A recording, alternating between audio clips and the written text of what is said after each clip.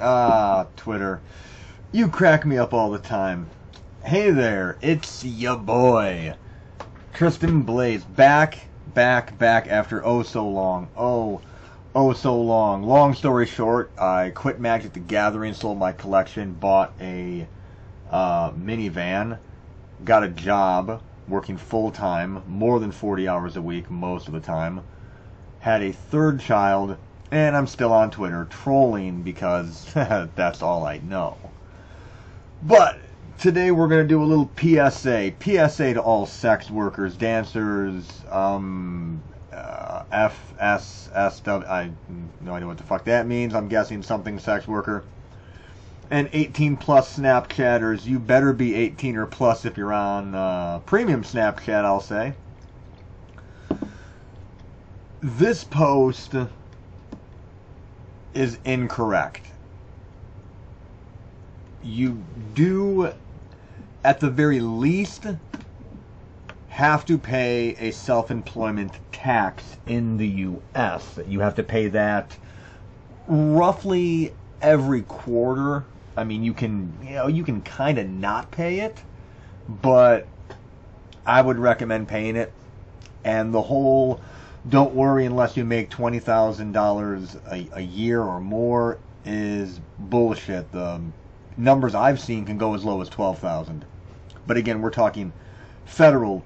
We're not talking your individual state. And if you live in New York like I do, you have a city tax for New York City and the state tax for New York State, and then your federal tax on top of that. So it can get real, real, real tricky. Now, how can I, I, Tristan Blaze, the genius of the internet, the um, person who uses the uh, Young Turks level of investigative research, figure that this brilliant uh, mom streamer, Pokemon Go hunter, dinosaur enthusiast, uh, future wildlife biologist. How did I figure out what she couldn't figure out? Well, I went to the IRS.gov website. You know, the guys and girls who actually, you know, do the tax codes and shit. So this is right here. It's IRS, Gov, business, small business, self-employed, self-employed individuals. You're a cam girl. You're a sex worker. You are in business for yourself. Unless Durex is paying you to show condoms on your stream, or unless, you know, Astroglide is, you know, promoting you on Snapchat with your amazing high-tech dragon dildo collection. And trust me, you're you're gonna need some lube if you got that collection going. You are by definition in business for yourself. So, you are self-employed, including a part-time business, meaning you uh, you do a premium Snapchat and you only work say 10 hours a week. It's part-time, but it's still a business you are self-employed in. So what are your tax obligations? As a self-employed individual, generally you are required to file an annual return and pay estimated tax quarterly every three months. You must pay a self-employment tax as well as income tax. Your self-employment tax is, in terms of my paycheck, the Social Security and Medicare tax. Okay? In general, anytime, the, and again, you can find this on the IRS website. It, it's free. You're on Twitter right now. I'm assuming it's free to go to the IRS website because it was, it was free for me and I have a lowly factory job. So anytime the wording self-employment tax is used, it will re it, it will normally refer only to Social Security and Medicare taxes, and not any other tax like the income tax. To determine if you are subject to the self-employment tax and income tax, you must figure your net profit or net loss of your business.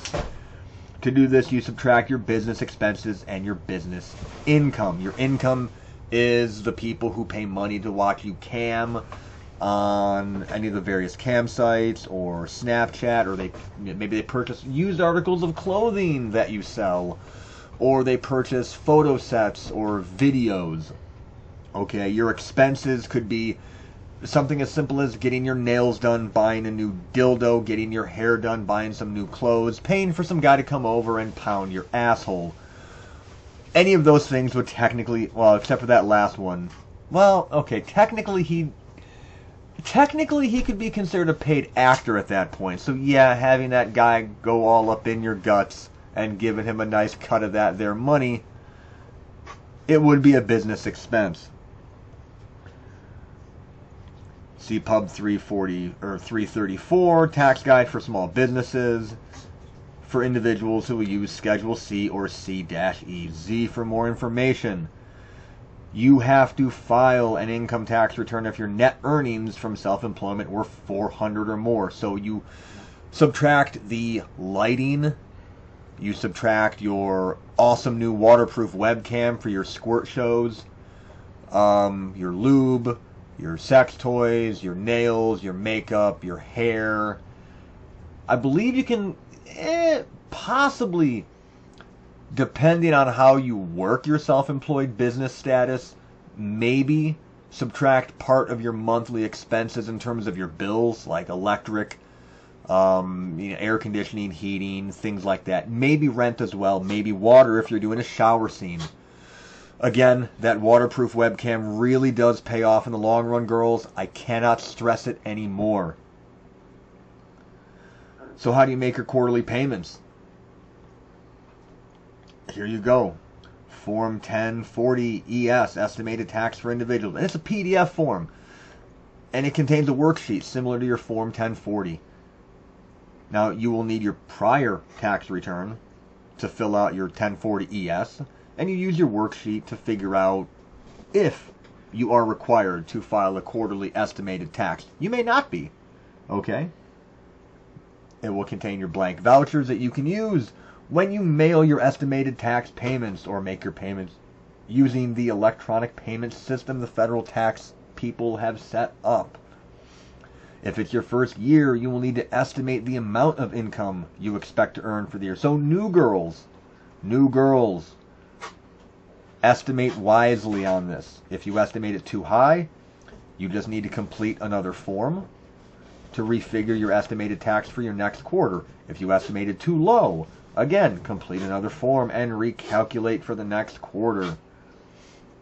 See your estimated taxes page for more information. The self-employment tax page has more information. How do you file it? Well, hey, here's information on how to file it. To file your annual return, you use Schedule C, Schedule C-EZ. Okay? If you are to, okay, to report your income or loss from a business you operated or a profession you practice as a sole proprietor, Schedule C instructions may be helpful. Now,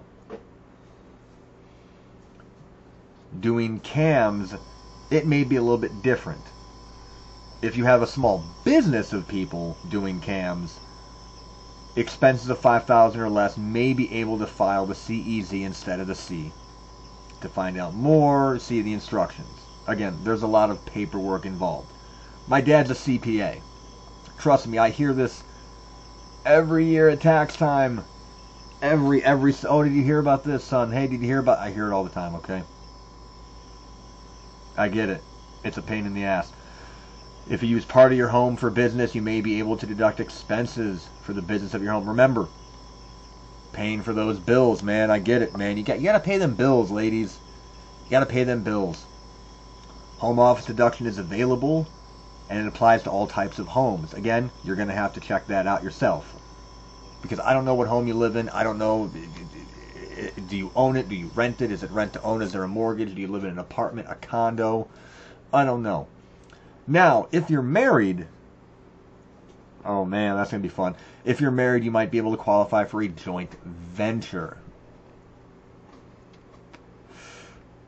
And I would highly consider choosing a tax professional to prepare your taxes. I recommend my dad, uh, just, you know, because he is a CPA.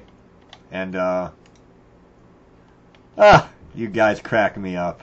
Fucking love this shit. Peace out, YouTube.